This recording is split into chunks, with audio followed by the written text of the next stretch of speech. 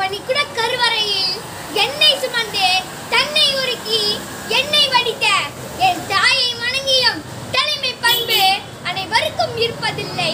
அப்படிப்பட்ட தலைமை பண்புடையவர்கள் தனக்காக வாழ்வதில்லை. தலைமை பண்பு அனைவருக்கும் இருப்பதில்லை.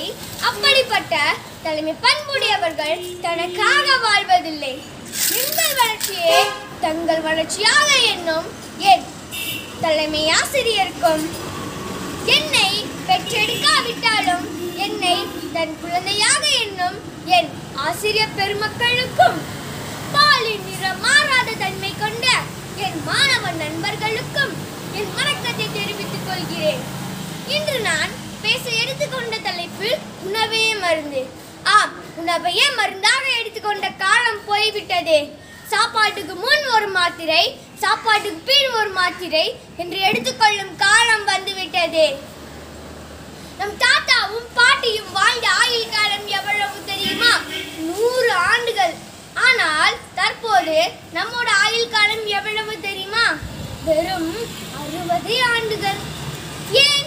இதற்கெல்லாம் காரணம் நாம் எடுத்துக்கொள்ளும்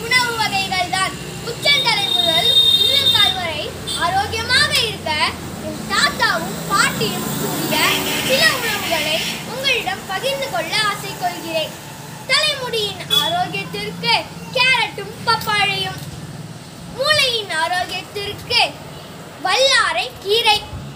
மூக்கின் ஆரோக்கியத்திற்கு முசுமுசுக்காய். பற்களின் ஆரோக்கியத்திற்கு ஆரஞ்சும் ஆப்பிளும். கல்லீரலின் ஆரோக்கியத்திற்கு பிழாம்பழம். சிறுநீரத்தின் ஆரோக்கியத்திற்கு பலாப்பழம் எலும்பு மூட்டுகளின் ஆரோக்கியத்திற்கு முழக்கத்தான் கீரை கால்கள் வலுவாக முருங்கை கீரை என்று கூறிக்கொண்டே போகலாம். இயற்கை உணவுகள் ஆயிரம் உள்ளன.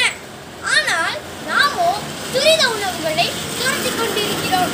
சாமை சாப்பிட்டால் நம்மை போல ஆயுள் போறலாம் கொலூண்டி நடப்பவனோ கம்மங்குள் குடித்தால் காலூன்றி நடக்கலாம். தேக்கு போல் உடல் வேண்டும் என்றால் திணை உண்டால் மட்டுமே போதும். கால்சியம் வேண்டும் என்று காம்ப்ளனையை தேடாதீர்கள். என்றால் ராகியை சாப்பிட்டால் மட்டுமே போதும். இறுதியில் என் அன்பு ஆசிரியர் பெருமக்களே உங்களுக்கு ஒரு செய்தி கூறி விடைபெறுகிறேன். பள்ளிக்கு நேரமாகிவிட்டது என்று சாப்பாடை விழுங்கி விட்டு வராதீர்கள். சாப்பாடை நன்றாக மென்று சாப்பிட்டு விட்டு வாருங்கள்.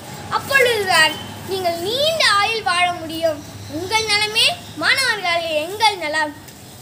ஆதியிலே தேவன் வானத்தையும் பூமியையும் சிருஷ்டித்தார். இரண்டாம் நாளிலே பூமியானது புல்லையும் விதைகளை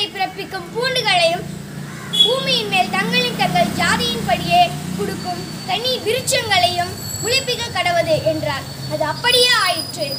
முன்னொரு உலகம் முன்னால் உருவாக்க கூடுமோ மனிதா? முன்னொரு உலகம் முன்னால் உருவாக்க கூடுமோ மனிதா? இயற்கையை மதிப்போம் உணவை மருந்தாக்குவோம். எனவே இயற்கை கொடுக்கும் இயற்கையான